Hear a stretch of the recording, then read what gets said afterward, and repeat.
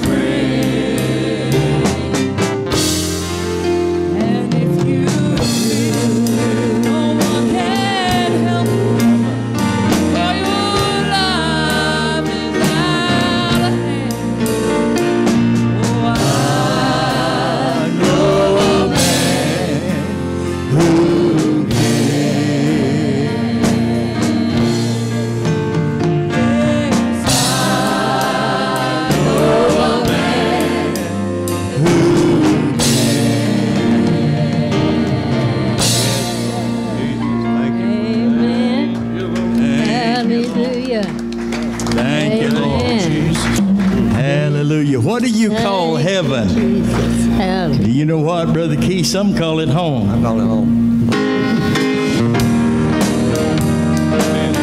Wrong key. I'm sorry. Let's do it in the right key. Ready?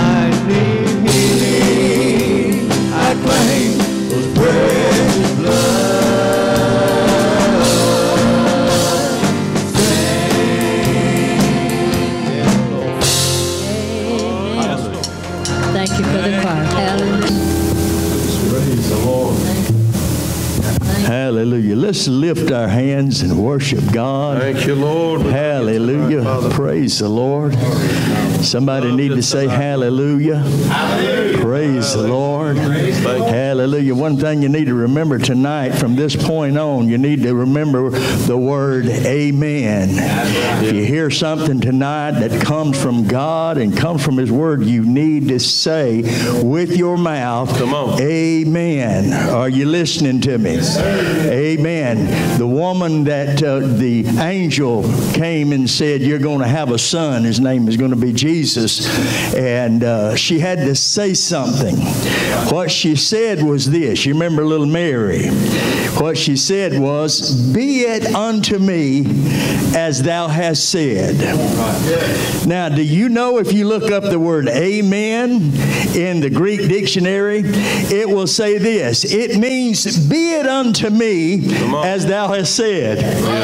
Come on. Come on, amen is not just a, a religious thing that Pentecostals shout out all the time. Come on. It actually says, I receive that. Come on, somebody. Just one word from God can change our lives. Yes. And but you know what? There has to be a receiver. That's right. Amen. Somebody just saying it and somebody just preaching it, it's not enough. There has to be a receiver tonight. I received this morning, and I'm going to receive my receive tonight. I'm glad to see our sister back here. She came this morning and she desired to have a refilling of the Holy Ghost, and I believe that she got it. But you know what, sister? You're going to need some more. That's right. Come on. The Bible talks about be being filled. That's right. Continue. So that is a continuous thing. You got to always desire the Holy Ghost. And I like what our, our minister said this morning. I believe in the baptism of the Holy Spirit. I believe in the filling and the refilling of the Holy Spirit. I believe in the evidence of speaking in other tongues. Oh, Amen. As the Spirit gives utterance. And it's very important. You know, your heavenly language is very important when you don't know how to pray, especially. Come on. Come on. Come on, somebody. When you don't know how to form it in words, you need to get in the spirit and begin to speak that heavenly language. Amen. So that you know the devil even don't even know what you're what you're saying. Hallelujah. He knows English and he knows Spanish and he knows Greek and Hebrew. Yes, he But he don't know Holy Spirit tongue talking. he don't know it. don't know it. But you know what? God knows exactly what you're saying, even when you don't know what it, That's right. it is. And oh, I'm, I'm excited about the Lord. Praise God. I want you to put your hands together and welcome our ministers for tonight. They're going to bless you. All you got to do is open up and receive because they brought it. Hallelujah. It's in His Word, His Spirit, and in song.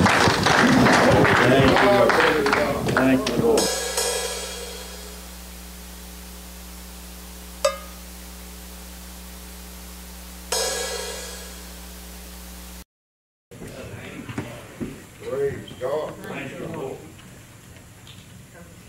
Wonderful. Thank God for Sunday night service.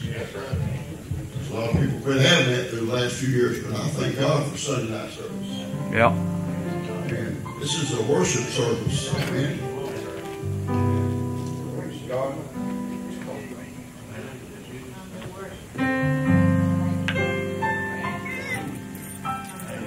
Appreciate Brother Adcock, what he had to say, all the ones that get up behind here. Thank you. You're so gracious and kind to us. We just feel at home. Man. I feel that way when I get around people that's of the kindred spirit. Right. Amen. Yep. Same bloodline. There you go. Same bloodline. That's right. Glory to God. Well, we're still walking the faith. Yep. I'm still having no trouble with my eyes, but I believe God is touching me. Yeah. Man, I always tell people when I pray for them, it reminds me of a lady that down in Tampa, Florida, close to Tampa, Florida.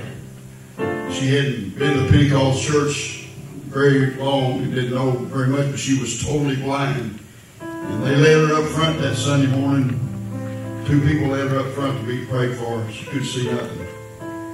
And I said, I thought, God, you know, I've not seen many people healed. I've read in the Bible you've healed blinded eyes many times. I said, I know you can. I've heard about it. I know one man in my ministry that got one eye that was blind in one eye. And he, I wasn't praying for him. He was down at the altar praying. And, uh, and all of a sudden he just jumped up and started shouting, I can see out of this eye. God healed him. Yep. Praise God. I said, Lord, you can touch this lady. And pray for her. I felt that God was going to do a miracle. But I always tell her, I said, you know, the Bible says to lay hands on the sick and they shall recover. Yep. So recovery could be a process. Yeah. That's right. I believe in instant healing. Right. God instantly healed me. I Yep. told you this morning when I was in the hospital with that COVID pneumonia. And he's done that. But sometimes it's recovery. It's like a good medicine. That's right. So what do you do? I said, told the lady, I said, Stay listen, in faith. I told her that scripture and I told her, I said, hang on to your faith There you go. because your faith is the birth canal. Yep. And if you don't keep holding on to it, it's going to manifest itself. Praise God. Yes, sir. So they took her home. She came back that night and came up and walked in that door before service started by herself and, and worked, walked up to the front by herself and wanted the microphone. And she told the congregation, she said, I went home. They took me home and I ate my lunch. I lay down and take a nap. And she said, Lord, the preacher said for me to hold on to my faith that you're going to heal me. that you're going to manifest yourself and you're going to take care of this. And she said, when I woke up, I could see.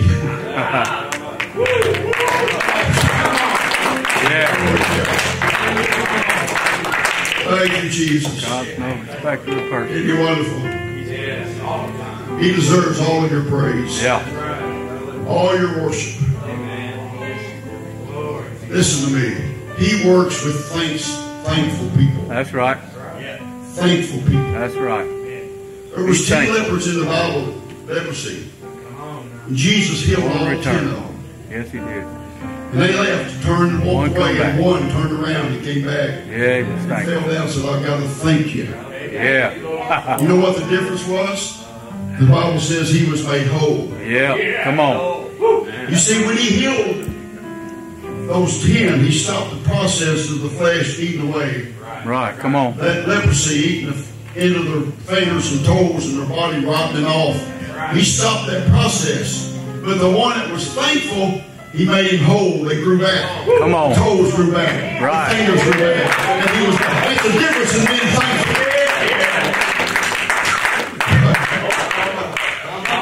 Woo! I feel the Holy Ghost in here. I love to feel what I'm feeling. But if I don't feel anything, I know something. Come on. What did, what did Jesus tell those those folks that he gave gave them power to cast out demons and to heal the sick? said, and they "Don't come back rejoicing that." over that fact. Right. He said, "Don't rejoice." And he said, Rejoice not that the demons are subject to you, Come but on. rather rejoice because Your name. what? You know your name's written in heaven. down in the Lamb's Book of Life. Right. Come on. We need to come through the gates of thanksgiving and to the court of praise. If we never hear the choir sing or anything, we Come on. still got to shout. Yeah. We still got a reason to rejoice. Right. Glory to God. Praise God. Thank you, Jesus. Well, I'm just still excited as I was this morning. Maybe more so. God bless you for being here with us. Amen. Hope you're not in a big hurry. I tell people if you're on your way to hell, you don't need to be in a hurry to leave here. If you're on your way to heaven, you're not going to be in a hurry to leave here. Yeah.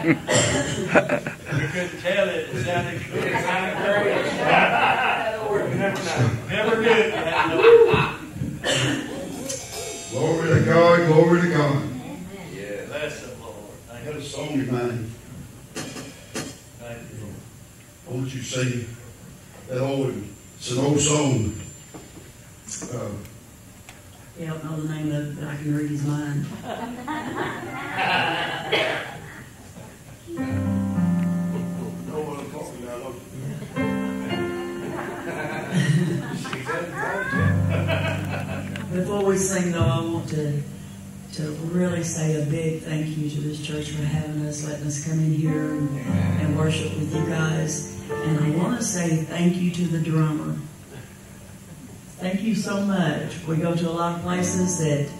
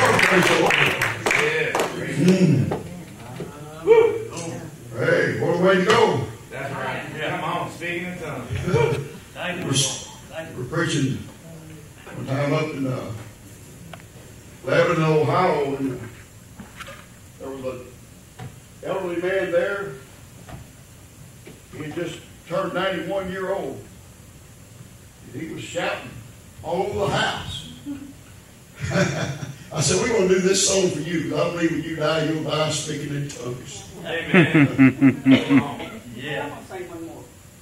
Come on. Praise God. Thank you. Y'all still believe in speaking in tongues? I heard the pastor talk. Oh, yeah. Come on.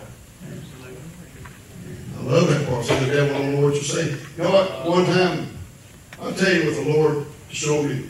When we still had our property in Arkansas. I was, I was out mowing, uh, out, our house set about 600 feet back off the highway. I was out mowing by the highway, by the fence. And, uh, I was praising the Lord in my mind. You know, Come on. we know the Lord knows the intents of our heart. He can read our minds. See, the devil can't do that, Right. but he hears what you say. That's it. And the Lord spoke to me and said, I know what you're thinking. hmm I know you're thinking Right. of giving me praise and thanksgiving and honoring me. So I would look up there at our home and I would praise God for our home and I'd praise for everything I could think of. Yeah. You know, and he said, but Satan, your adversary, your enemy, needs to hear you praise me. Come on. Well, Yeah. Don't sit there Come and on. think about it. come on. Open your mouth. Right. You're the offspring of the speaking of God. That's right. Speaking spirit. That's right. I don't know what the Come word on. Almighty really means, but it wasn't enough that God did anything without speaking it into That's right. existence. He spoke the word. We He spoke it into existence. spirit. And he said, if you need to be like me with the Holy Ghost and have enough courage and enough belief and faith to declare things that are not as though they were, Yeah. Speak. That's right. Let the devil hear you praise me. Right. Praise God. Don't just think it. Don't sit on the pew just thinking about, well, I almost shouted. I almost raised my hands. I almost got up and run around this building because I felt the joy of his salvation in me. No, don't, don't almost do anything. Right. Come on. Amen. Open your mouth. You're the offspring. You're the only offspring of a speaking God. The Yeah. angels are not his offspring. Right. He created angelic beings and something he created. Amen. The animals are not his offspring. You are the only thing that was created in his likeness and his image. And I want to tell you this. You are the only thing he's coming back after. He's Right. not coming back after this earth or the moon and the stars and the planets. All that's going to burn with a fervent heat. Amen. If you're right with after you and me. He's, you're His prized creation. Right. Amen. Yes, sir. Praise God. Well, glory to God. Yes, sir. Uh, God. Thank you. Lord wants to hear you That's praise right. Him, and you need to do it. It's a commandment that we do that. Yep. But the devil needs to hear you do it. Yeah. Amen. Yeah, you need to make an uproar in here. The devil can hear us all the way Come down, on. down the road somewhere. Put them shaking. Praise God. Yeah. Come on. Thank the Lord. Our Lord. Thank you. Thank you. I don't know about you. There, you know, there, there is churches in this country, big churches, a lot of churches, and they even before COVID come around, they wanted less church and less noise. Yeah. And after COVID, they want less church and less noise. Yeah. Less church and less. I don't know about you, but I want more church and more noise. Right. Make control for noise unto the Lord. Serve the Lord with thanks. Yeah. Well, Yes. Yes, sir. Paul said in Corinthians, we've been made fools for Christ's sake. Yep. He did. He said All right. that. Now, he's not calling you a fool. He said, we're a fool for Christ's sake. Yeah. And I read some scripture, more scriptures in that context right there. And it, it says, in essence, it says, you know, the world thinks we're foolish. That's right. They do. See? Yeah. I, I looked up that word foolish. Mm-hmm. And it says, seemingly a little ridiculous. Mm-hmm. Yeah. And let's see, there was another definition of appear lack lacking good sense. Never heard that before. Well, the world thinks we're foolish. because Yes, we they get do. excited about something we can't see. Right. Come on. It's easy to us to believe in seeing until the world sees believing. It's total contrast. The world thinks we're foolish. The devil thinks we're foolish. And even the angels snicker at us. Mm. We humor them. Yeah, come on. But I read where God likes it. Yeah, right. He likes it. And whatever he likes, I want to do it. Yeah. He Amen. likes it when you lift up a voice of triumph and shout with a voice of triumph unto the Lord and praise Him. Make a joyful noise. Serve Him with gladness. Amen. We need to do it more often. I'm going to tell you because He likes it. When you do what He likes, and He's already here. I want to tell you something right now. He was here when you got here. You know why I know that? I have preachers say, well, I know He's here because I brought Him me. No, he was here when you got here because God fills all time and he fills all space. Right. See, there's no geography with God. Where would he go? Yeah. Here's the deal. He either manifests himself or he don't manifest himself. Mm-hmm. It's always up to you and me. If we don't praise and worship, you won't ever know he's here. Yeah. Come But if we start doing what we're supposed to do, see, it's not a suggestion that you worship and praise, it's a commandment. And when you start doing what the Word says to do, and you start giving Him adoration of praise and thanksgiving, and you start, not because you feel excited about a new job or something, I'm talking about because you know something. Yeah. And when you start doing that, He can't resist. Yeah. When you begin to praise Him and earnestly thanksgiving to Him, He's going to manifest Himself. And when He manifests Himself, and then you say, well, He showed up. Yeah, He showed up, because, but He manifests Himself. And when He does have things that begin to happen, you don't have to quit. Keep on requesting the same prayer request all these years that you've been doing, because when you get His presence here, He's not going to just take care of it. Yeah, come on. Why? Because you exalted Him. Man, that's right. He can't resist it. Yep. You know what the divine law of attraction is? Mm-hmm. The divine law of attraction, real simple. It's a need. And when you present your need, see, he's attracted to your need. He's attracted to hurt. He's attracted to your sickness. He's attracted to loneliness. He's attracted to all that stuff that you're experiencing. He's attracted but you have to present your need to him. Like we did this morning. We finally came up here, and sometimes that's the best service when someone presents their need. Amen. We begin to pray, and we begin to call on Him, and we begin to praise Him, and all of a sudden, the Holy Ghost starts moving. And then someone else says, "Well, I want prayer too." And then someone says, "Well, I need to go ahead and get prayer too." That's what follow the leader. But you got to quit doing that. Quit waiting on somebody else. Right. Preaching already, I don't have to sing that song. I'm gonna, I'm gonna try to say this. I've read that scripture many times in John 5, where there's a man that's slain laying at the pool of Bethesda. Amen? 38 years he's been there. Yep. Because when a, that pool would be troubled by an angel at a season of time, I don't know what that season of time was, he would come and trouble that water. And whoever got in that water first got healed. Yeah. Well, I don't know what the season was. If it was once a year, that water had been troubled 38 times since that man been there. Yep. And he ain't got there yet. One day Jesus comes by Yep. and he sees him and he talks to him. He says, Attracted to it. Will thou be made whole? Yeah. I read that and I thought, well, duh.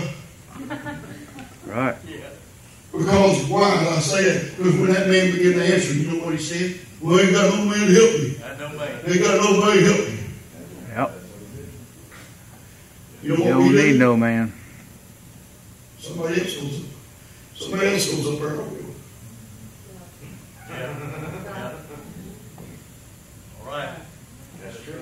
Well, they didn't play music so long, I could go up there. They didn't preach so long, you know, make all kind. But I thought about that then. My God, if I knew, I had to get that water first. When I thought it was about time for that angel to come, I'd be crawling that edge of that pool. I'd be pickled. Yeah. I couldn't walk, but I'd be crawling. that water I'm going to fall in. I'm going to keep on waiting on somebody else. Come on. Come on. That's it. You keep waiting long enough, you'll be enough to when the rapture take place. Yeah. Mm-mm. Thank you, Lord. Thank you, Lord. Pentecostal people so worried about what so and so thinks. Yeah. Yeah. Why do you care about your image so much for? Yep. Who are you? Who am I? Right. Who am I? I'm not worried about my image. About him. Sometimes I think I guess I am. Because I went back to the boardroom and I said, God, did I really say that? You let me say that, Lord. I blame you. You let me say that? I ruined my image. I did that one night because I was preaching about that river that was raging. That Joshua brought the people to the edge of that river, getting ready to cross over to the to the promised land. And God brought them and parked their carcass right there at the right time of the year when that, when that river is raging and it's flooding. Yep. They in its banks. Yep. And he said, sit down. I want you to sit down for three days, 72 hours, and remember and recall how good I've been to you. Mm-hmm. I want you to remember some stuff before I let you cross. Yep. And I preached on that, and I said some stuff. And I went back to my room and said, I really say all that, Lord. I would talk about that river walking me through my ministry. It's laughed at me so many times. And I'm trying to get through, that river's walking me, and it's laughing at me. I can't get across. But see, we're fixing to go across. And he said, I'm in for you to, to think that. I'm in for you to feel like you destroyed your image. And I said, why? He said, because until you get rid of the flesh, till you get that old flesh under subjection, you'll never challenge that river. Wow. Come on. So you're going to have to crucify your flesh. Quit worrying about your image. Yeah. If you feel like shouting, shout. You feel like running this altar, go to it. Don't worry about what anybody's thinking. Yep. You need to worry about getting conformed into His image, not your image. That's right. Well, I ain't charging nothing for that sermon. Praise God. The Shoulders was singing a song I wanted her singing. I didn't know she'd even walking that, that blindness left eye, I didn't know she took off, so I see her back here already. But I wanted to sing a song. When I first met her, we she wrote this song. I said, You wrote that for me. The ti- title was I'm going to love him.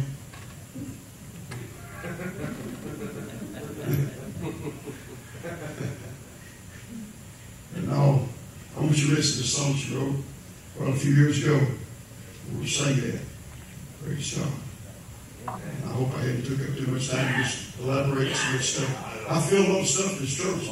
I guess I'll, the pastor will allow me to maybe come back someday and maybe we can have some service. Yeah.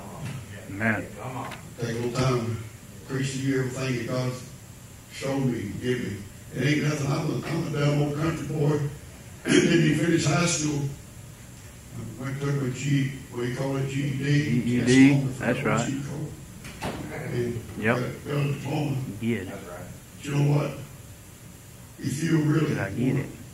open up your understanding mm-hmm. of the scripture, see, understanding is a wellspring of life Yes, sir. in the he that hath it. But the instruction of fools is folly. Yes, sir. Yes, sir. I know what Proverbs 4 says. Wisdom, wisdom is the principal thing. Therefore, Get knowledge, get all wisdom, you but with all of your getting, get understanding. Get understanding. That's right. But I'm going to love him more and I'm going to praise him more. Amen. I'm going to make that a promise to you. You need to do the same thing.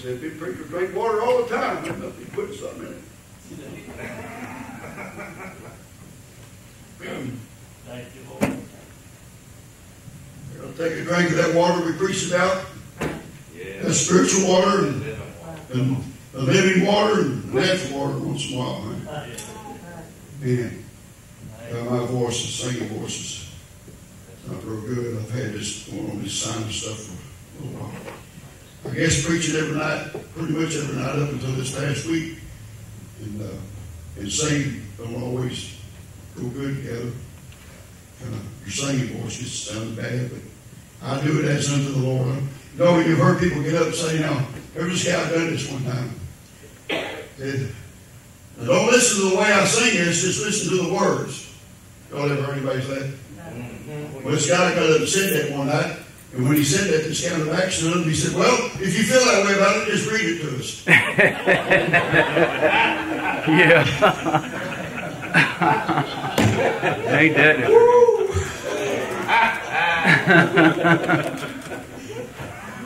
I ain't allowed to say that. They probably tell me to read it to them. Praise God. Y'all happy people. Yeah. yeah. Praise the Lord. Man, there's nothing like the joy of the Lord. There's nothing like being in His presence because He said that in His presence is what? Fullness of joy. And His right hand pleasures forevermore.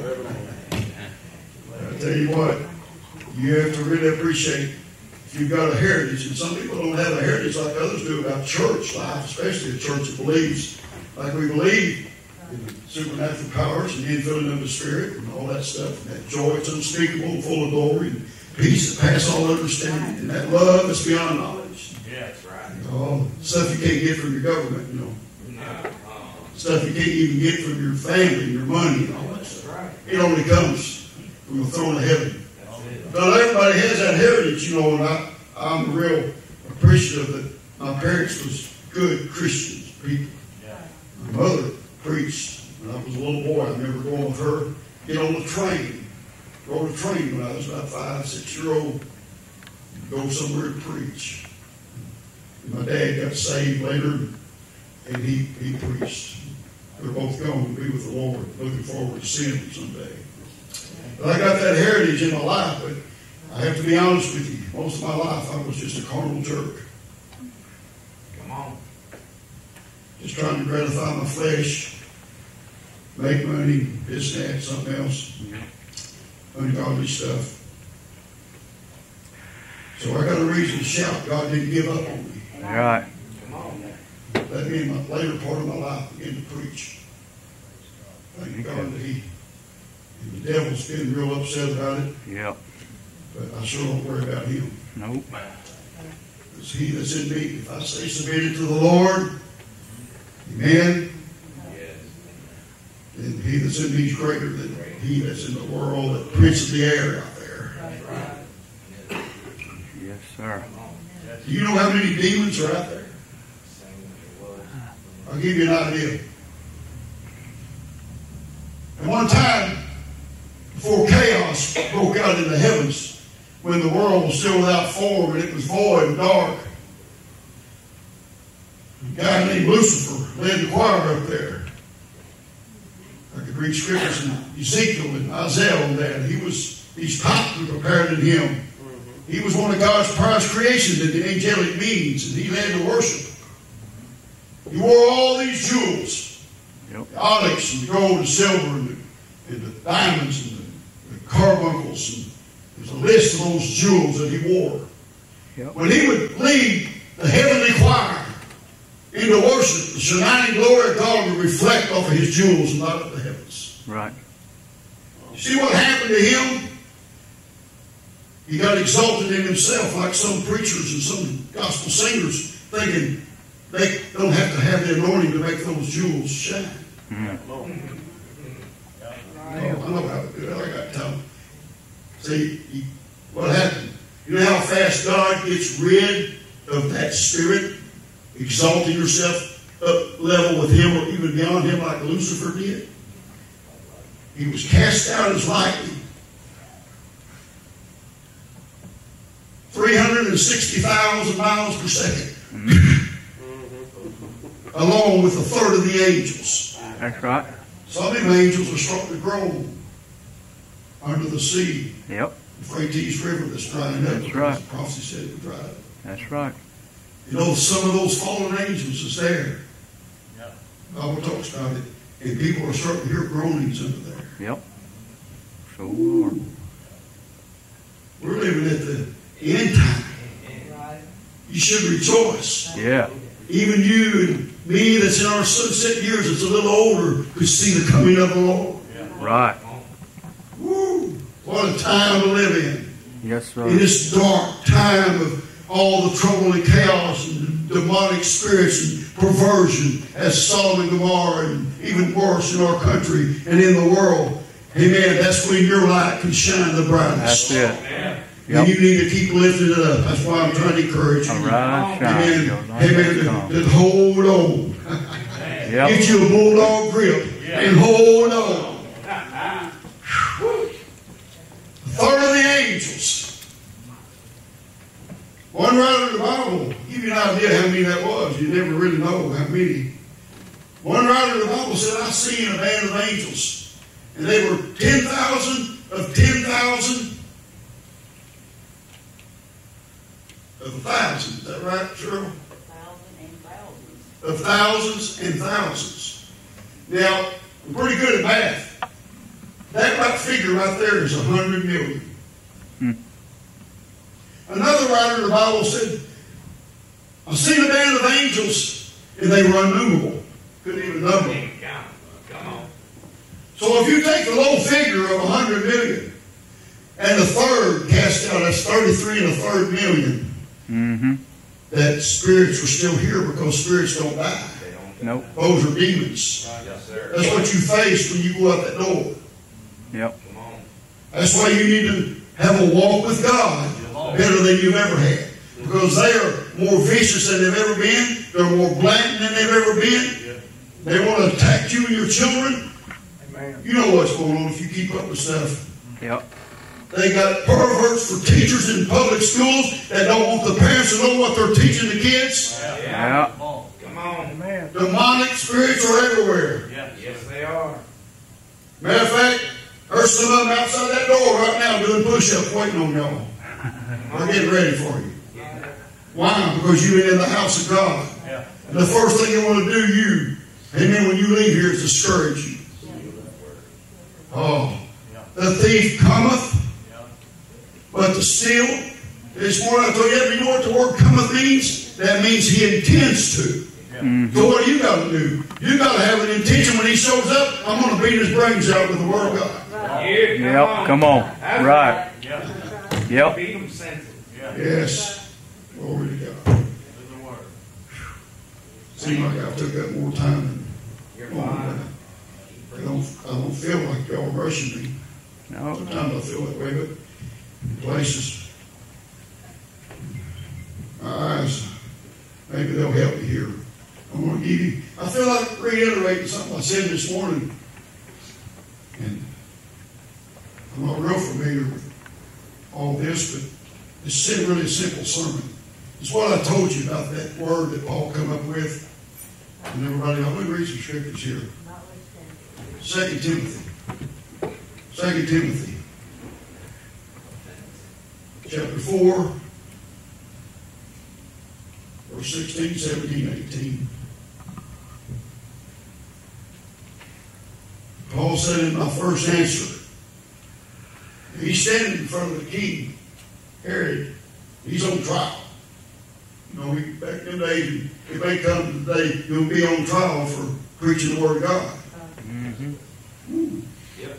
Come on. Especially if you talk about homosexuals. Uh-huh. Uh-oh, is something I said? No, sir. That's right. Come on. You don't want to hear it. And my first answer, at my first answer, man stood with me.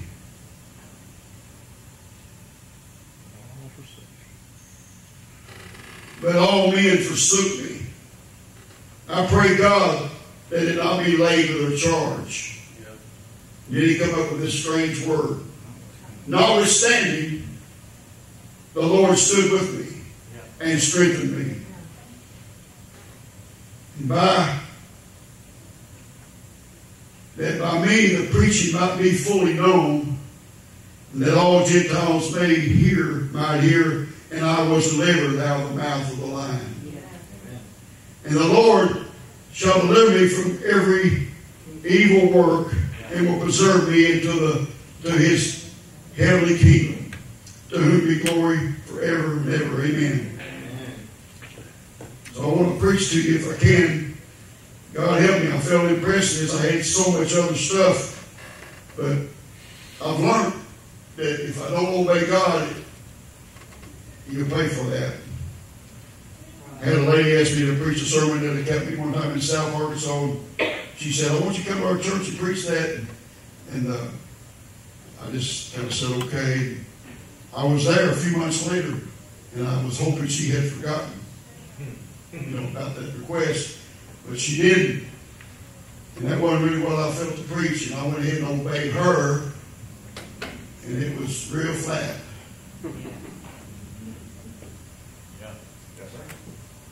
So maybe this will encourage you. I was a little rough on you this morning. I want to encourage you. We've got to be encouraged. And sometimes it, there's probably going to come a time when you're going to have to be like David and you're going to have to encourage yourself. Come on. That's right. See, I wanted to preach that when he was in Ziklag. You know, he left because he was tired of Saul trying to kill him, all this stuff. He moved to the land of the Philistines in Ziklag. Yep. All his people went with him, his family, all his brothers, a whole bunch of them went with him. And David, for 16 months, he didn't worship God. He rode on his horse and went around like a fool doing all kinds of stuff. But he, he took off that ephod, broke a praise. He didn't do any praise. He didn't write any psalms. He didn't write any songs. But one day, come back to Ziklag and it's burnt to the ground. Hmm. They took his family, his sons and daughters, and took the captive, and the women. All the Bible says all was great and small, I mean it was adults and children. They didn't kill any of them, but they took them all. And his people got so upset at him, they wanted to stone him. His own people wanted to stone him. He buried his face in the ground. Joab authority to bring that ephod roll that he could put it back on. Because for 16 months he hadn't talked to the Lord.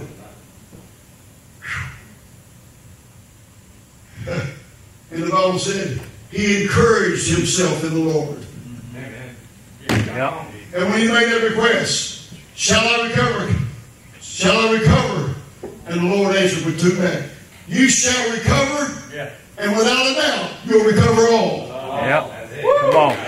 Oh. Praise God, praise God. Thank you, Lord. Oh, what am I talking about? To get back what you've lost, you got to go back to what you left. Church people, Come on. You God is so gracious, all you got to do is ask Him. All you got to do is repent and say, I'm sorry. And whatever you've lost, whatever desire, and whatever hunger and thirst, and whatever joy, and whatever he had, you had a while back, and you've lost it, you can get it back. Come on. Thank you, Lord. I feel pretty good about that. I'm not just preaching. Praise God. You hold on to this word it'll help change your life. It'll give you victory. Came up with that unusual word. He said this story as he stood before the king and everybody forsook him.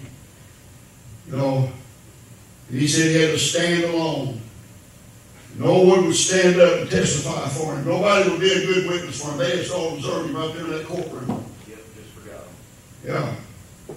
But he said, notwithstanding, and I told you this morning, I looked that word up. It's a powerful word. And, the, and it, said, it means, nevertheless, in spite of the fact. Right. Nevertheless, in spite of the fact, the Lord stood with me. Everybody forsook me, but the Lord stood with me. Right now. Woo! Glory to God, glory to God. Thank you, Father. Oh, Thank you. mm, I want to explain some things to you as I go here.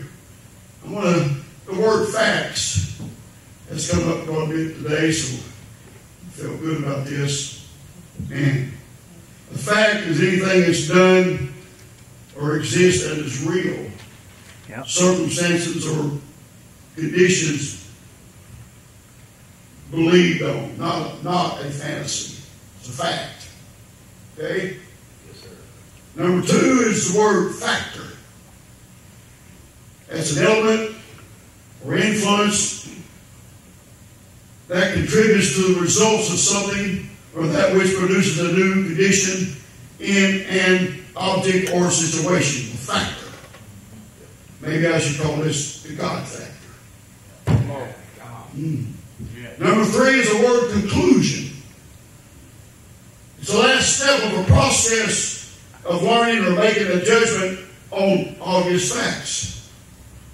A decision made after an investigation, a thought, or examination.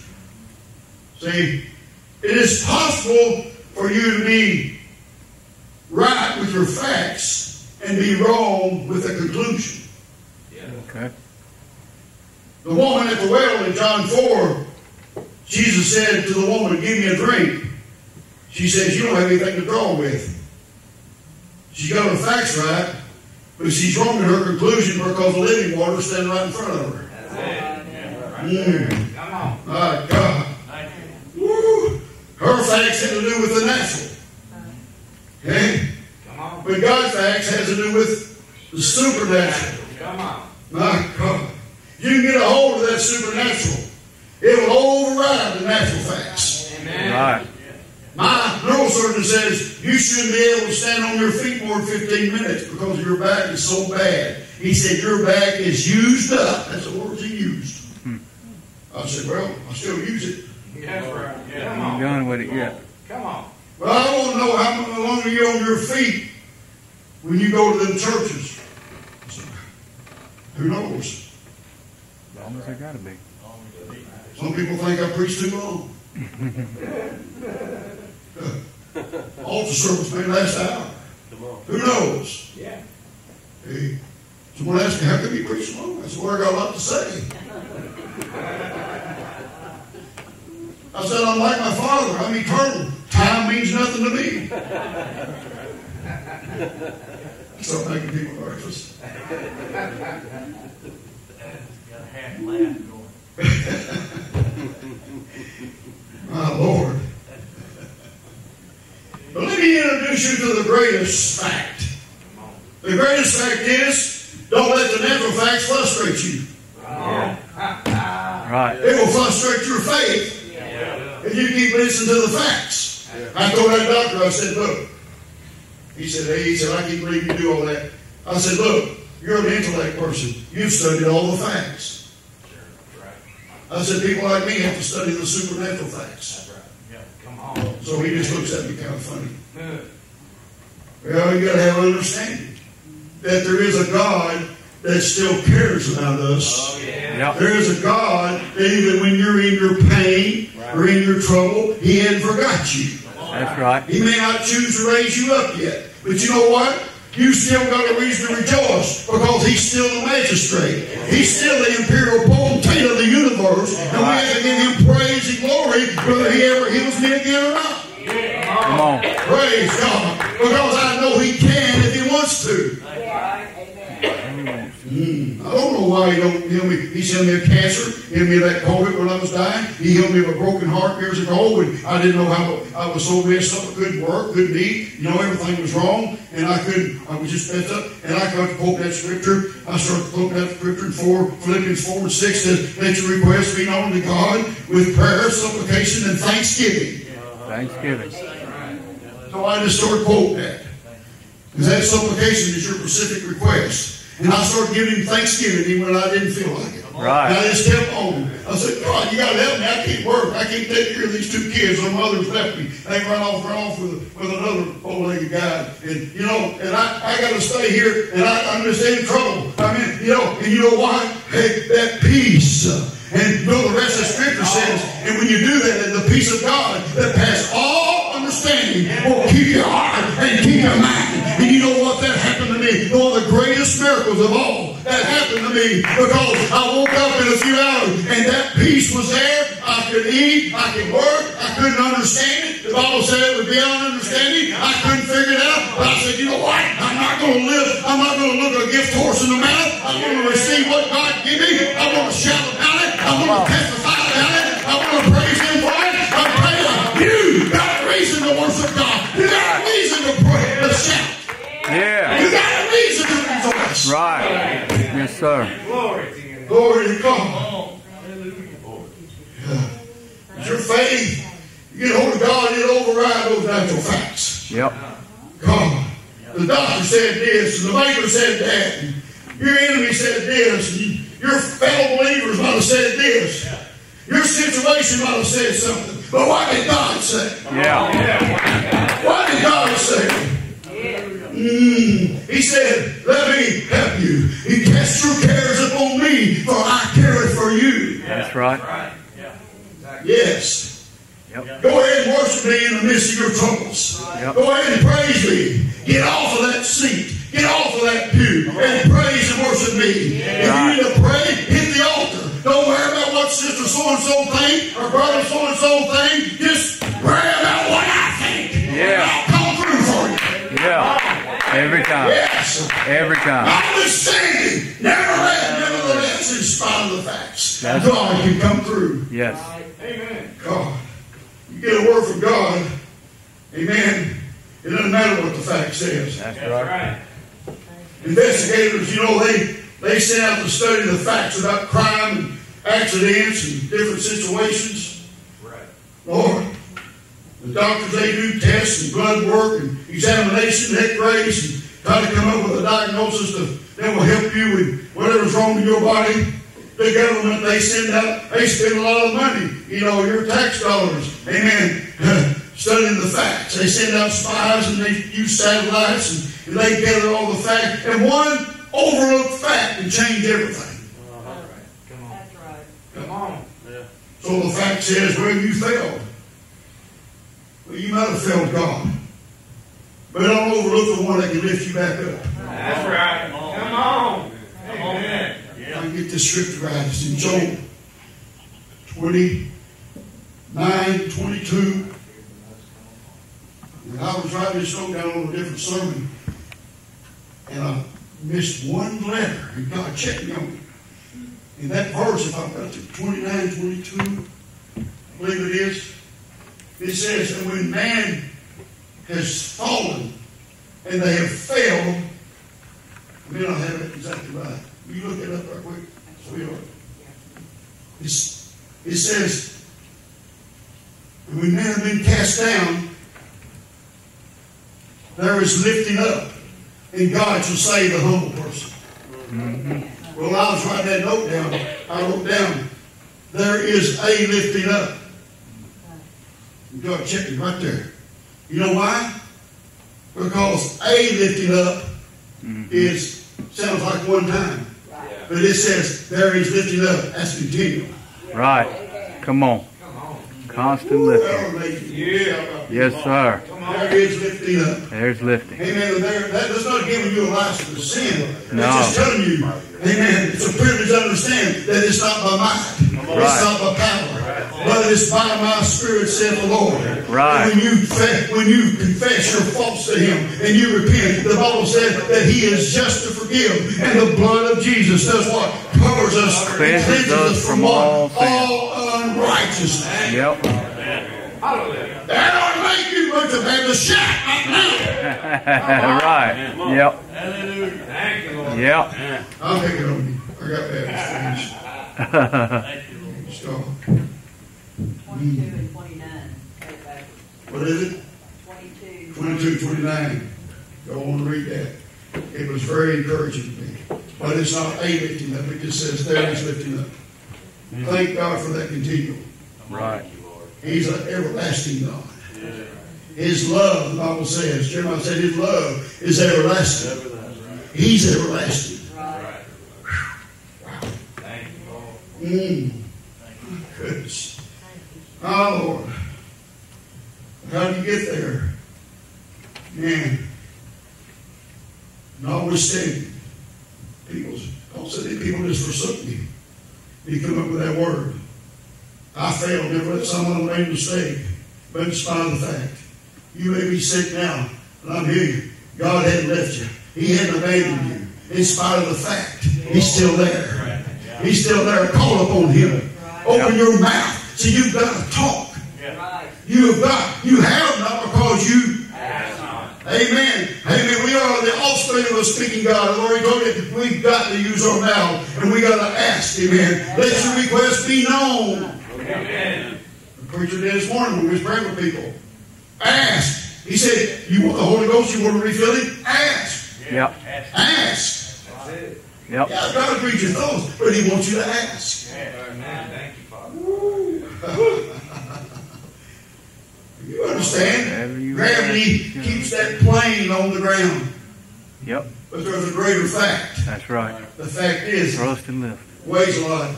But there's another fact called aerodynamics. Mm-hmm. And it Thrust and flies. lift. It will lift it up. There's a greater fact. My God. There's a greater grace. There's grace and then there's great grace. My Lord. Mm. Hezekiah would be able to tell you about that. When that prophet came in, he's sick. King Hezekiah, is it Hezekiah I'm talking about it? Hezekiah, he was sick unto death. Yep.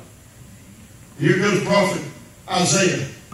He could see him coming across the court. I can just imagine he said, Here comes the man of God. The only, the only thing he ever knew about God back in the day was through the prophet. That's it. Maybe he's got good news for me.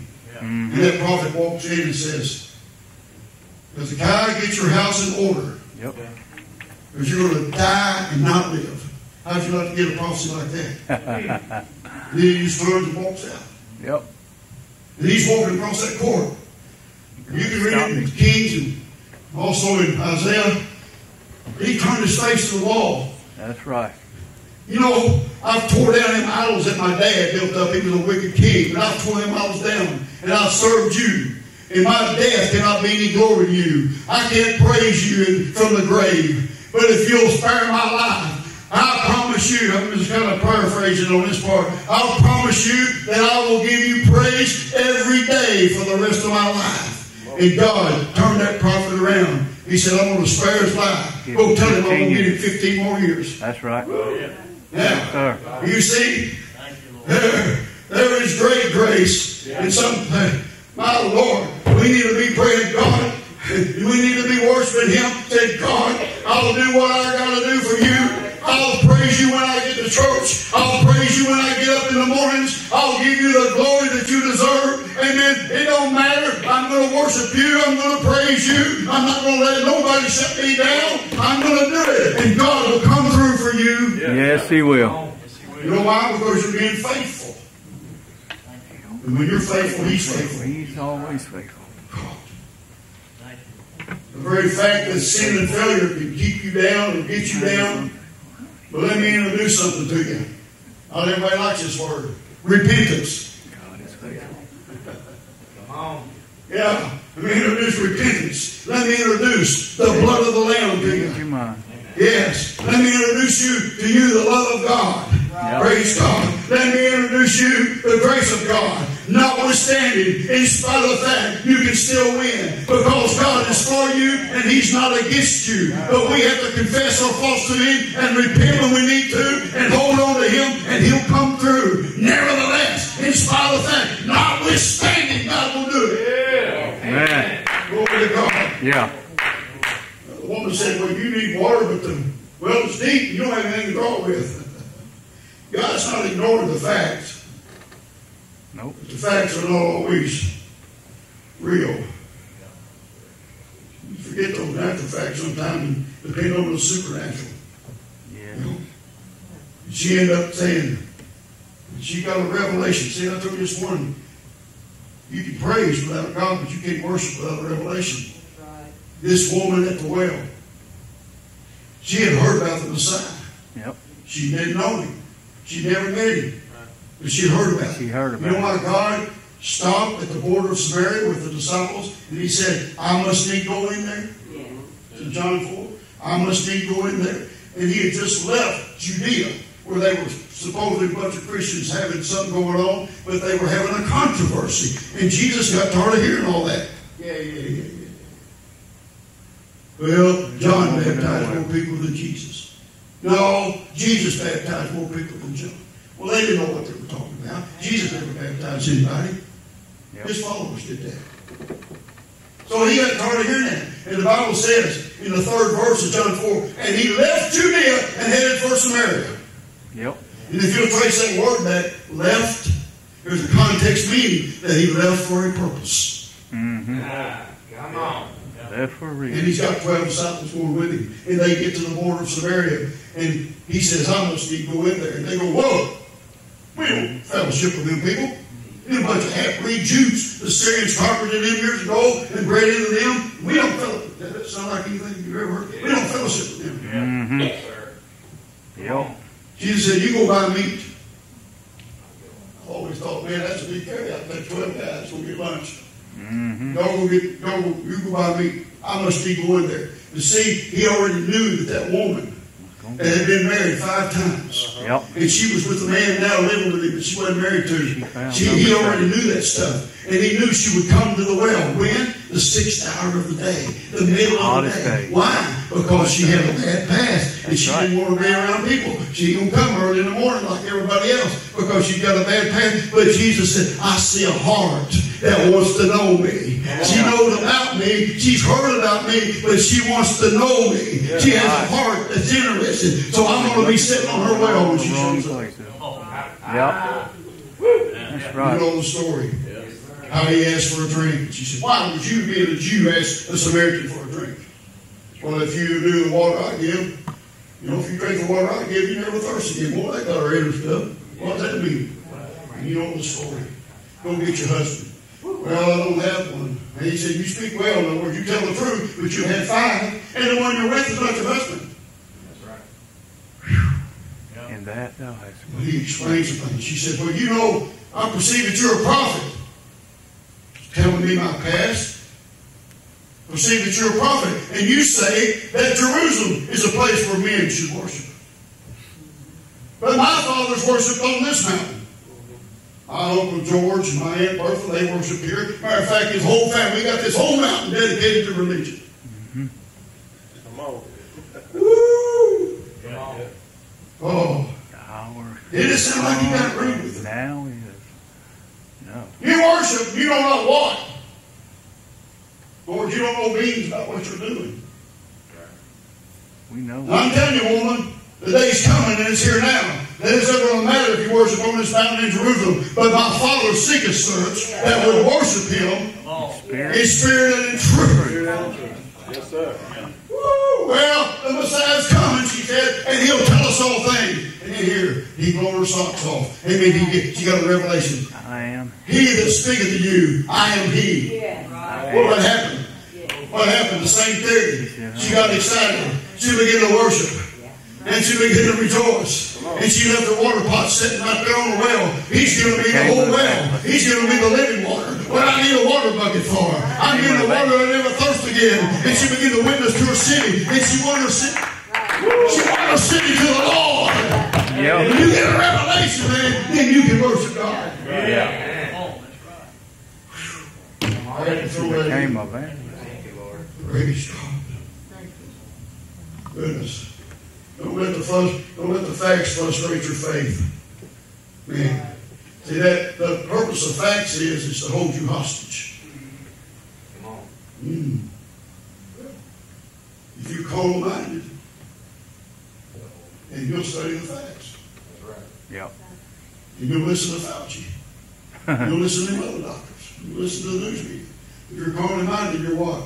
Spiritually dead. But to be spiritual minded is what? Life and peace. Thank you. Oh, I tell you, what we got, you got the Holy Ghost, see.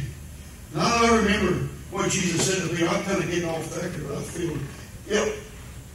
Peter got upset when he realized the Lord told me he had to die. He didn't like it. You know, he said the seed's got to fall, or he's not going to produce anything else. That's why you got to die out to your flesh. You got to decrease so that he can increase. Yep. And he tried to explain to Peter all that stuff. And Then he said this If I be lifted up from the earth, I'll draw all men unto me. unto me. What was he saying? You know what the devil probably had him defeated? They were driving nails in his hands and his feet, laying down on the cross. And then they stood him up. Hey, you know what Jesus, when he went into that tomb for three days in the belly of hell, you know what he was doing? One thing he was doing, he was preaching to people that died in the flood in Noah's day. Come on. And then he chased that devil around and he said, Give me them keys. Woo! So you let the devil bluffing you around and he don't even have the keys to his own house anymore. He's done beat. He come forth the third day with those keys. Come on. Death, hell, and the grave. Thanks up. But you gotta understand this. The Bible says that if you, if you have the Holy Ghost, you have a treasure in this earthen vessel. Vessel. Yep. You are earth. Guess what? We don't need to treat him like junk. Yeah. You got a treasure in this earthen vessel. That's right. and he still has to be lifted up from the earth. Come on. Woo. Right. Come on. Unless we lift him up, we'll not see children born into the kingdom. Men will not be drawn into this altar in repentance unless we, the saints of God, lift him up. So that's why I preach worship so much. A worship service can cause people to run to the altar. A worship service under the anointing can cause people, amen, to get the Holy Ghost and sing God and they'll run it. Amen. The saints of God has to promote that worship. You have to go into that worship so that God will start moving in the house. Amen. You can't expect the preacher to do it all. You need to worship, and I need to worship.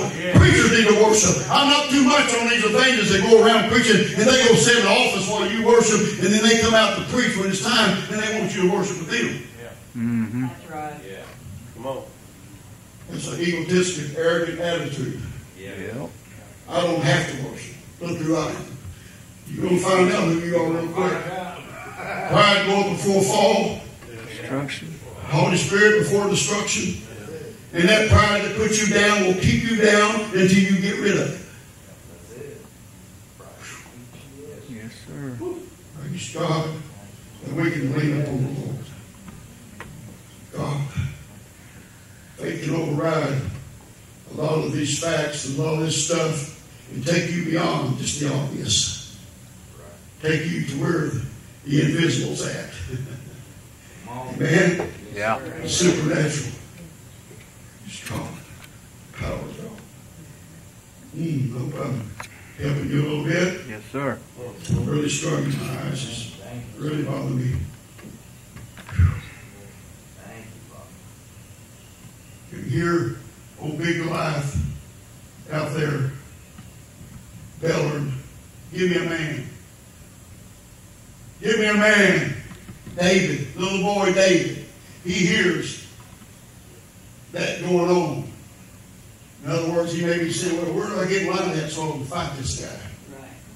Oh, Saul says, You can't fight this guy. He's experienced, he's big. And you're just a freckle faced kid, and that's a fact. Mm. Come on. It was a fact. Come on. Lord, you know, there's all these brothers and sisters over here with Saul. You better listen to him. David, that's why we're not fighting. Yeah. David said, listen to me. I was taking care of my family's sheep, and a lion come out to take the sheep, and the Spirit of God came on me, and I took that lion out. The bear is. Took him out.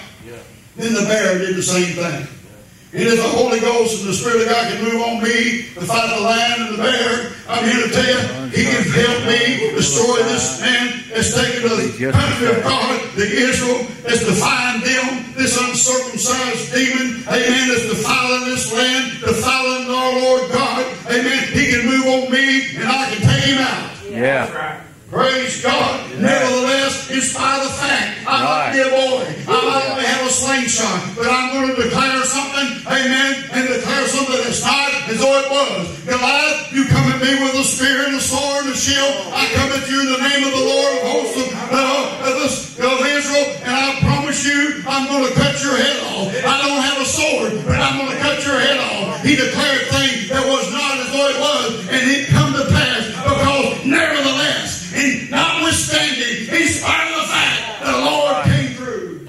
Sir. Right. Yeah. Glory to God, glory to God. Woo! There was a time when David got real discouraged. Mm-hmm. You know, Paul might have, you know, Paul might have had a license to be discouraged one time. You stand in front of that. He could have been a typical Pentecost, felt sorry for himself and sucked his thumb. Yep. And all these people walked away from me. Man, they forsook me. Nobody stood for me. I had to stand alone. I failed. My friends beat me up, and sometimes I beat myself up. But then here it comes. Yeah. Notwithstanding, in spite of the fact, the Lord strengthened me. Yeah. When everybody else walked away, the man named Jesus walked in. Yeah. Come on. Woo! Let me tell you what he done for me. He put my feet, he took me out of the mark clay, put my feet on the rock to stay. Praise Yeah. God. He put a song in my heart and praise on my lips. Right. I'm here to tell you, he come through for me.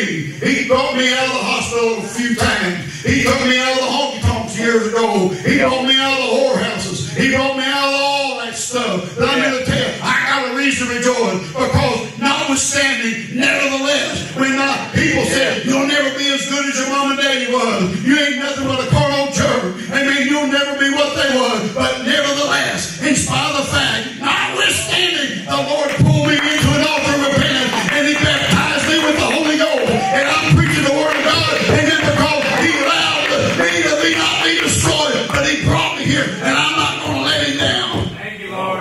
Yeah. Praise God, praise God. Thank you, Lord. Woo! In spite of the fact. Psalm 73, David you know, he got kind of discouraged. Oh, the wicked prosper and they're fat. They don't have trials and tests. And he was so discouraged. And he said, I'm crucifying myself. I'm paraphrasing. You know what I'm talking about. You know where it's at. They're winning and I'm losing. God doesn't seem to be on the throne and I'm just barely getting by. God help me. I hear myself. I've done that stuff before. So foolish. And David said, Oh, how foolish I was. How ignorant I was. Amen. Because he come back and he said, David, I'm still here. I'm still with you. Amen. I'm still on the throne. You just because you've had some bad moments you've had a bad episode. Guess what? I'm not going to throw you under the bus. Yeah. Right. Church people may throw you under the bus, but God said, I'm not going to throw you under the bus. Amen. Come on. I ain't you. Forsaken you. You had a bad moment. You're having a downtime. But all you got to do is call up on me. Come on. Yes. Yeah. Thank you, Lord. Oh, God, forgive me. Help me. And God, He's just to forgive. Yes. Yes, He is. is. Yeah. Yes, sir. Right. Blood of Jesus still is powerful. That somebody said that from us. Yes. It don't lose its power. Gonna lose it. That same blood that cleans you the first time, when you f- repent, get it right, that same blood See, here's the deal. God don't put us on probation. Nope. Come on. Come on. Any of you jailbirds know what I'm talking about? Come on. I know what I'm talking about. He'll put us on probation. Come on. He'll put you on probation. If you mess up one time, you go back to the king. But God doesn't do that. Amen. When you fall that altar and repent, He's just to forgive. And you can come up a new creature in Him. You can come in here a failure. You can come in here a backslider. And the blood can cleanse you and you can go out the door shouting the victory tonight. Yeah. Well, glory. Well, glory. Yeah. Well, thank you, Jesus. I'm glad we live under this dispensation of time. I'm glad we don't have to bring our livestock in here, amen, and do a bloody mess everywhere, sacrificing our best bull or our best cow, our best or turtle dove or lamb or something, just to roll our sins for a year away, and then the priest has got to call God and see if he approves of our sacrifice. Amen. But Jesus became your sacrifice. Right. He died for you. Oh. He was tortured for you. He was Yeah. your sacrifice. And you don't have to go to that old priest that's behind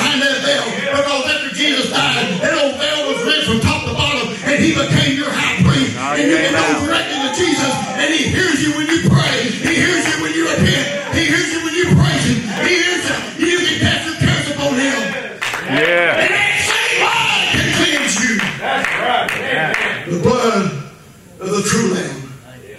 Yep. Praise God. Never loses its power. Woo. Nevertheless, my God, you know, you need to speak to be, seek to be spiritual. Don't think it's foolish to be spiritual. No. Some people act like you're not right head because you're real spiritual. My friend Carlos Garcia, he's spiritual most all the time. Sometimes I think he's a little silly. but I have to commend his faith. It's Well. like it's always there. Yeah. He's always texting me and giving encouragement to me. He texted me a while ago. How's your brother? I couldn't even read it. I had to get Cheryl to read it. She said, I told him you can't read it and just text me. And he's still texting me. You know why? Because he's expecting me to be able to read it. Come on. Right. That's right. Yep. It's not foolish to be spiritual. Nope. But I think it's stupid to be real carnal. Yes, it is. Carnal people do a lot of stupid stuff. Yes, they do. yeah. They don't expect us to think they're crazy when they go to a football game and they paint their hair all different colors and they get drunk and carrying on and going crazy. No, all kind of stuff. Yep. I don't think it's crazy to shout. No. Worship God. That's right. Amen. They'll have to get up there in them stands and hoop and holler for their ball team. Amen. And they're, some of the, those guys up there are a bunch of whoremongers down there chasing that ball. They couldn't tell the truth standing on the Bible looking at Jesus. And they're down there rooting for them. And they come to church, they'll get mad if you got their parking spot. Oh. Well. Uh-oh, something I said. Uh oh. They got my seat. Uh oh. Praise the Lord. I know I'm not giving you excited you like I should. Y'all listen to me. No, that's good. Come on. It's good for you. You need to seek to be spiritual. The devil talks to you. Sure enough. The news media talks to you. Oh, Your feelings talk to you. Yep. Your fear talks to you. Come on. Failure talks to you. Yes, it does. Frustrations talk to you. Every once in a while, you need to hear from God. Come on. Yeah. Come on. You need to hear God say, here's what we're going to do. Yeah. That's the right coach. I'll give you a little secret. The promises of God are not self-fulfilling. The promises of God are revelations of divine intentions. Okay. What does that mean? Hey, God says, here's what I'm going to do. Now, what are you going to do to make it happen? Come on. What did I tell you? It's always up to us. We got to do it first. We got a will. Come on. Praise God. We need to hear from God. Yep. And we need to watch out, watch out for these facts that you're fixing to start hearing. If you pay attention to the news, you're going to start hearing a bunch of facts. You know what they do? They exaggerate the facts. They put you in fear. They exaggerate things to make you afraid to come back to church. Afraid to get around other people. God, y'all gonna pray over your food, don't you? Yes. Why do you do that? You pray because you don't want that food to hurt you. That's right. That's And if you pray and you're thankful for it, you give thanks. And then we do that. I mean, God said to do that. That's right. And nothing you eat will harm you. You know, sometimes we get a belly ache, we get something wrong. But I'm going to tell you, we forget in our hearts what we're really doing at church and at home when we're praying and we're thanking God. I'm telling you, we need to get it in our hearts and our mind that this is about that walk with God that we can continue to have so that we'll make it through the tough times that's coming. Yeah. Come on. We're coming. I don't try to be a preacher of doom, a prophet of doom, but I'm telling you, I didn't see the writing on the wall. Yeah, you got to open You're going to go through some more stuff. Come 'Cause on. You got one. It's pretty simple. You got another election coming up. Yep. Come on. Yes, we do. Well, spite the fact, all these natural facts. We could just learn to quit putting, you know, it's a funny thing. We can get a word from a man of God, and we think we got to just talk about it, discuss it. We get a word from the doctor, and that's it. We believe. Well, Yeah. Come on.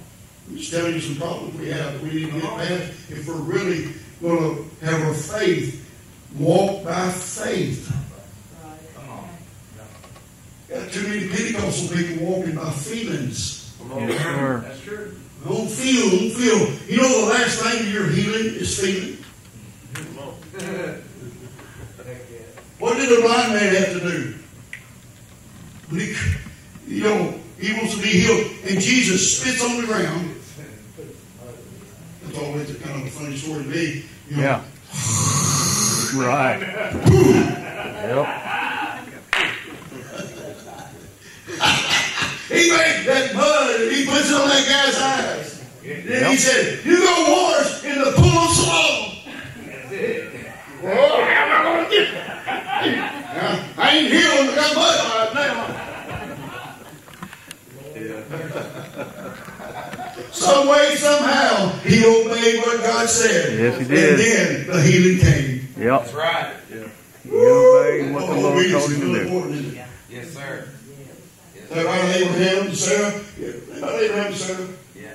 God, you promised me a son many years ago. Here I am, 100 year old. Ain't got one. Yep. God.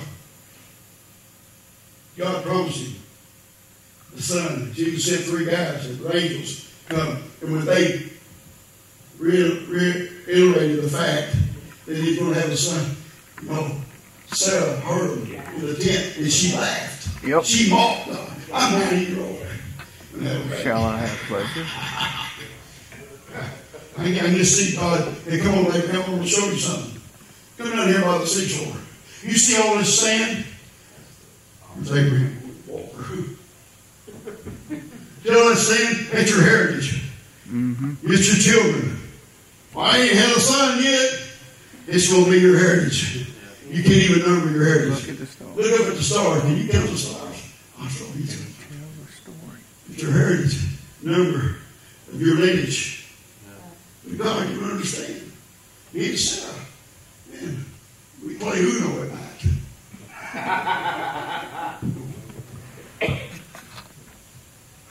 we shake hands and say, see you later. but nevertheless, in spite of the fact, Yeah, notwithstanding. woo! Right. Well, Sarah got kind of geeky. You know the story. Go ahead. She said, You just sleep with my handmaid, Hagar, Yeah. the bond woman. I won't go into that. I, some people get upset when I go into that. Mm. Praise God, praise God. Yes.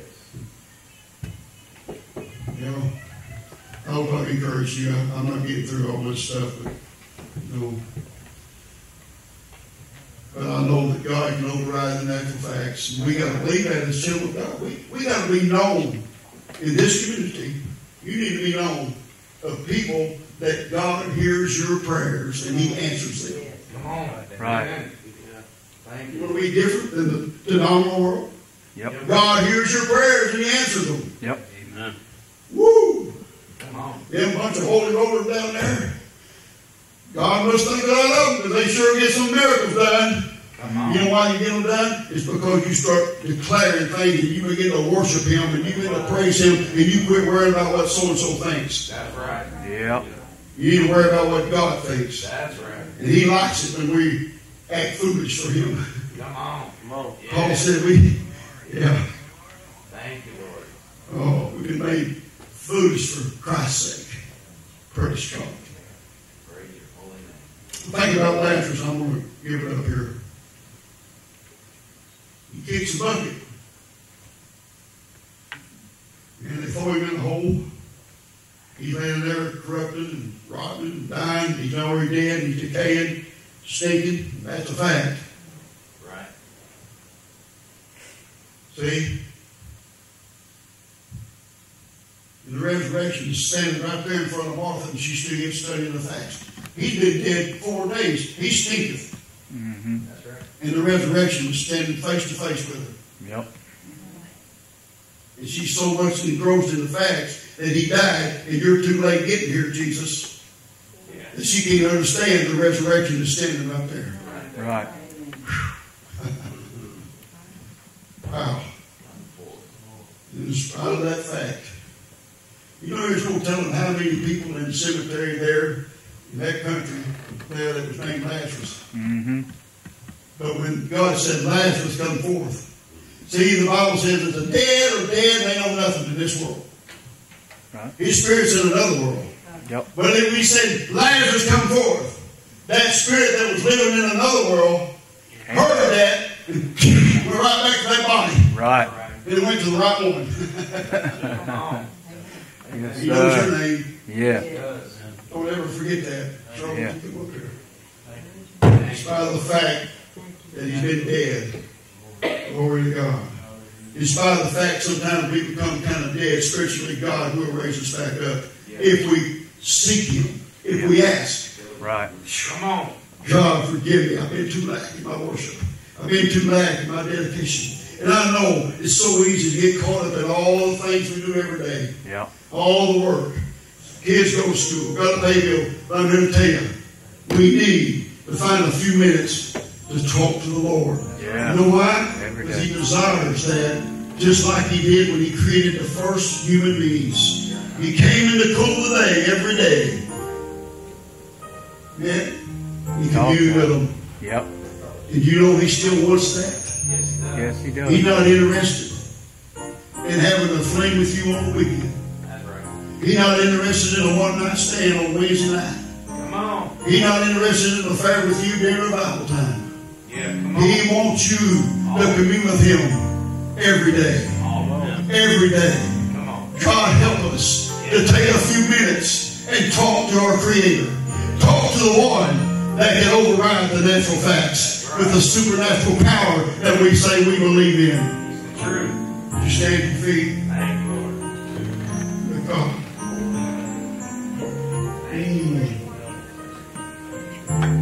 God wants to step into your impossibility. I'm not denying that there's facts, but I'm declaring that there's a greater fact. That's right. There's a greater factor. Yeah. It's called Jesus. That's it. Woo, We can get our conclusion, our conclusion corrected. Yeah. Amen. Because Jesus can step in no matter what the doctor said, That's it. no matter what the government said, no matter. No matter. God can step in and He can change all that. I mean, believe Yes. that He is a guy that does amen, the impossible. Yes. Impossible.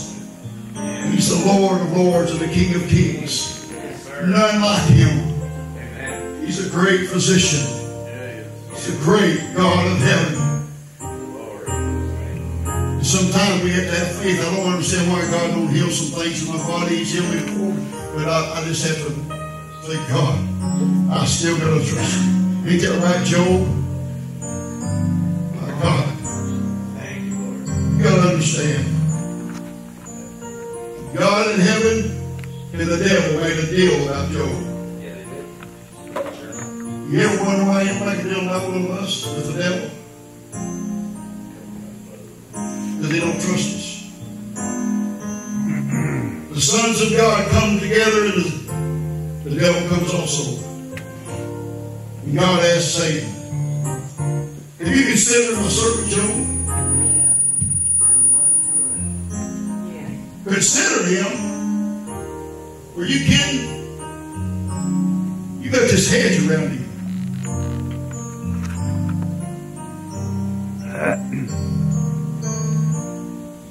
Let me take what he has. Because a man is no better than what he's got. Let me take what he's and he'll curse you to your face. I can see God looking at Job and then looking at the devil and saying, Take your best shot, stupid. No. Takes everything, even ten children. Ten children at once, dead. Everything he owns, dead. One servant made it back to tell him what happened to all of his livestock. Took everything. The devil approaches God again. Skin for skin. Man's no better than his flesh. You let me touch him, and he'll curse you to your face. I can see God looking over the stupid and looking at Job again. You can touch him, but you can't take his life. He's stricken with sores and boils all over him. Sitting out there. His wife comes out, don't understand. Just curse God and die. Then he's got these three rich farmer friends, Job's comforters, and little friends, I don't need enemies. Yep. They come over and they stare at him for seven days and never speak a word. And when they begin to talk, why get mad? You want to sound like? Sound like a good televangelist. Must be in your life. Send me that seed, man.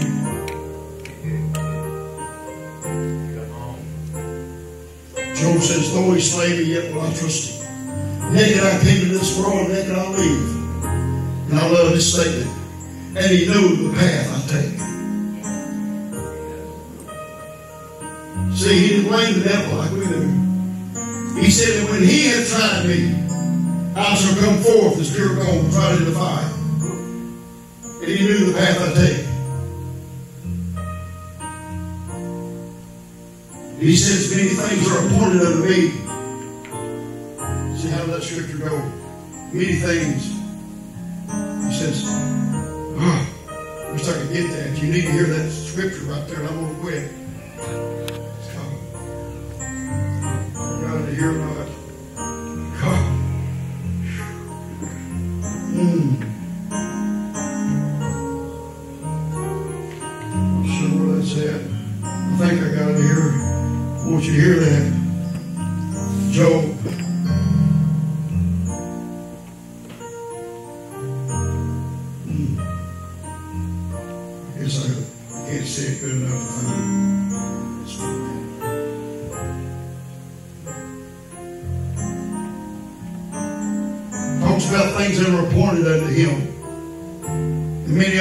Things are with God or with him. Other words, what he's saying is, God's tried me, and he'll try me again. You've been tried, you've been tested, and didn't come again. It's coming. All of us. God help us. Is there anybody here would like to pray? Anybody here would like to have prayer? Anybody want to encourage yourself in the Lord and the saints of God to help encourage you? I hope I've encouraged you that in spite of the natural facts, God can override this stuff. Yeah. Yeah. i Notwithstanding, what a word. Right. Nevertheless, in spite of the facts, I can make it. Man. devil says I can't make it, but I can make it. My friends say you'll never live up to it, but I can. So I got a God that will override all these natural facts with the supernatural power that will give you. That's why you need the baptism of the Holy Ghost. Yep. You've got to believe in the baptism of the Holy Ghost. The Holy Ghost is a revealer to you who God is. We've got to have it. And He'll do us with power from on high. He said on the death of that we can do things according to the power that dwelleth in us. Yep. That's why we have to have a maintenance plan. And we have to keep coming to church. And we have to keep worshiping. And we have to keep praying. And we have to keep fasting. And we have to keep, oh my Lord, reading the Bible and getting that word in us. Develop that power in us to resist what's coming on the face of this world. God help us. Yeah. Thank you, Jesus. Thank y'all for praying for me today. Thank y'all for allowing me to come. I don't feel like I've done too great here tonight. I, I felt a lot of hindrance, but it may not be anybody here. It may just be me. But I know for a fact what I've told you is truth. And I hope it encouraged you. Amen. Amen. We can make it. Yeah. We'll give it to the pastor. If you want prayer, you to come up here.